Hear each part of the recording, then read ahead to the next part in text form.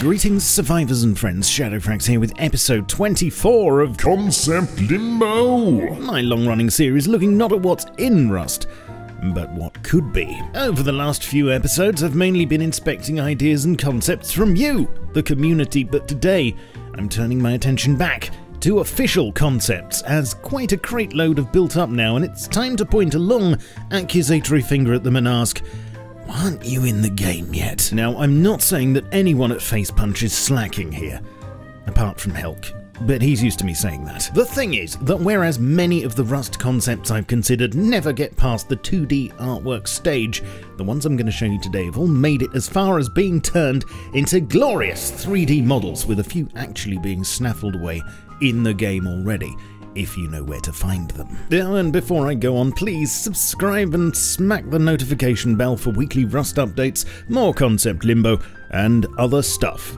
Thanks. So, over on ArtStation, where we'll be spending quite a bit of time this episode, one of the first models we've got to look at isn't exactly unrepresented, but should be more popular with those of you who think some things in Rust shouldn't look quite so manufactured. Back in January 2016, around the same time as wall frames and flamethrowers were being developed, weapon attachments were also being bolted onto the game, and among the first of these, we were presented with this model for a crafted scope. Now, of course, we did go on to get a couple of rather well engineered looking ones, one of which can be crafted, and a simple sight, which is the closest thing in looks but actually has negative magnification so isn't comparable at all. If you ask me, this model would make more sense being used for the craftable eight times. I mean, maybe that was the intention and for some reason it was never used.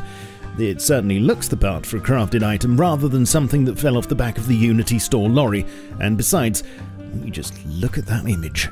Is this a glimpse of HDRP? Something that we could definitely do with now that we have so much crap in our pockets and that is, as far as I know, still on the roadmap, has two different 3D models out there at the moment. According to the old roadmap, which isn't online anymore, the idea was although I'm not saying it still is, to add encumberment, which I'm not a fan of in any game by the way, and that backpacks would increase the amount you could carry before this happened. The slot limit on the main inventory was also due an increase with more being accessible via scrolling. As I say, there are two models for backpacks out there, a military style one as seen here, which has a few nice little details such as a couple of tears and patches, plus what looks like a mutated poppy and a crafted version made from sticks, jump cables, duct tape, and some old tarp with Cobalt genetic research branding on it.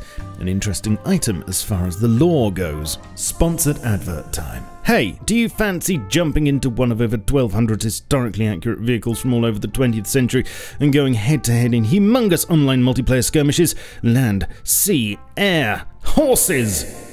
Okay, not horses, but they are always adding new stuff, so maybe if I ask them really nicely. Whatever the case, War Thunder might be right up your alley. You want an accurate simulation experience with all the knobs and whistles? No problem, they've got that. A realistic mode for challenging historical tactical encounters, you say? Sure, why not? Or perhaps you've just got in from a tough day at the office and need to release a bit of steam with some quick and dirty arcade action. Well, they've got you covered there too. With more than 20 million players around the world on PC, PS4, and Xbox, with crossplay between PC and consoles, and regular new content every couple of months, there's never an excuse for a dull moment. But the best thing is, it's free to play. And if you register using my link in the description, you'll not only be helping out an old horse, but you'll get a free premium tank or aircraft and a 3 day account boost. But seriously, click on the link because I need the money to buy pies. Back to the video. Talking of loot, there was an effort to add variety and visual clarity to containers a couple of years ago, so you'd be able to judge a box by its cover, as it were, and have a better idea of what sort of things would be rattling around in each one. We now have primitive boxes, tool chests, and a variety of other crates, but did you know about this unused model? The building supplies loot box was the last one to be finished at the end of 2017, but was sadly never used. Maybe because the work surrounding adding building supplies to loot requires a fair amount of rebalancing when it comes to resource gathering in general. Interesting to note, however, that it is actually spawnable in an editor, so it's in there possibly for future deployment and filling. Either way, I love the look of it, and I wish I could have a few in my base. My 2x1 base. Boats! Ask anyone if there are enough boats in Rust, and they'll tell you no, of course not. We need more boats. You can never have enough Boats. Good to know then that there are not one, but two unused boats in the game files and also spawnable in an editor. First of all, from a couple of years ago, this model of a two-man makeshift raft, thrown together from old wood, plastic bottles and a couple of well-used classroom chairs.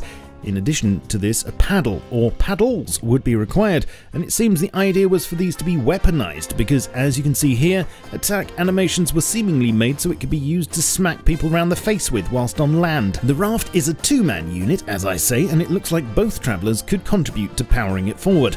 Presumably, it would be faster with two, but I don't know whether that would require some sort of coordination when it comes to paddling. coordination in Rust and that if you got it wrong, you could end up going round in circles. Either way, the model is in the game files and animations were made for it, but for the time being, that's where it remains docked. Not much is known about the other vessel, save for it looking like a Terminator version of the rowboat. It was added back at the end of 2018 but remains unused. I'm guessing this is just a more hench version of what we currently have, but whether it's meant to be the rowboat's final form or just a rarer version, I haven't got the foggiest. There was a new model for the anti-rad pill bottle made, which has never been implemented. Shame. A decent world model would be useful when I chuck them on the floor. Now, do you remember when the bandit camp first appeared out of the mists? Pepperidge Farm remembers. Well, can you recall how excited you were to get down there and start gambling away all those piles of excess scrap you had just lying around? What about when you arrived at the casino and realised the only game on offer was Wheel of Misfortune? And that the poker tables were just props. Fortunately, the plan was, and hopefully still is, to include more gambling opportunities and games, and not long after the Bandit Camp update, we were shown this model for a fruit machine. It would accept scrap as well and offer a variety of payouts with pictures to line up, including low grade, apples, ropes, scrap, and sevens. Sadly, though, all the bandits at the camp still have two arms, so we'll just have to wait a bit longer for the fun to really start. The next two items on my list are related, even though they were modelled a little while apart, and the first one is this a CO2 fire extinguisher, which, from the way this example's set up, seems to be meant as more than just a prop. It was modelled out of the blue and without any context. However, a small while later, we were shown this cheeky little model. Now, it's something I've mentioned before that the aim is to have both handcrafted and military versions of each weapon in the game. At which point, I'd like to say that I'm really looking forward to getting that tactical Eoka. Many of these are already in, but one that's conspicuous by its absence is a Tier 2 flamethrower. Again, there wasn't much context given for this model, although interestingly, it did coincide with some more talk of making things in the game properly flammable, so perhaps both of these items they're currently on the back burner, waiting for that change. Electricity was introduced to Rust on its fifth anniversary back at the end of 2018, and even though many of you still haven't learnt how to use it, that hasn't stopped the team from adding a ton of functionality to it, with an insane amount of potential for producing traps, automated systems, and generating power. Speaking of which, a couple of electrical items that we've only seen as models so far are next, which would presumably count as one. Firstly, a wall-mounted generator, which as you can see is only meant to be visible from one side, and this is because, as you can also see here just poking around the corner, it's meant to be paired with this, a water wheel slash human hamster wheel. If you could wedge this in a river just right, then constant clean energy could be yours. But even if not, it's big enough to comfortably fit a slave. I mean, willing clan member who could turn calories into rust watt hours for you. I wonder if it ever becomes possible to tame animals that we could maybe harness some boar power in return for scraps. Sure, that'd get the electricity crackling. Sticking to the subject of energy for a moment, did you know something rather large is wallowing just under the surface of Rust? You see, you might still be relying on one of these pathetic little things to fuel your army of tuna can wall lamps. Well, how about this instead? Introducing the Large Refinery, an absolute unit that, yes, might make your neighbours think you're compensating for something, but could probably produce enough low grade in a day to kill Godzilla. Or maybe the plan is for it to even emit diesel if necessary.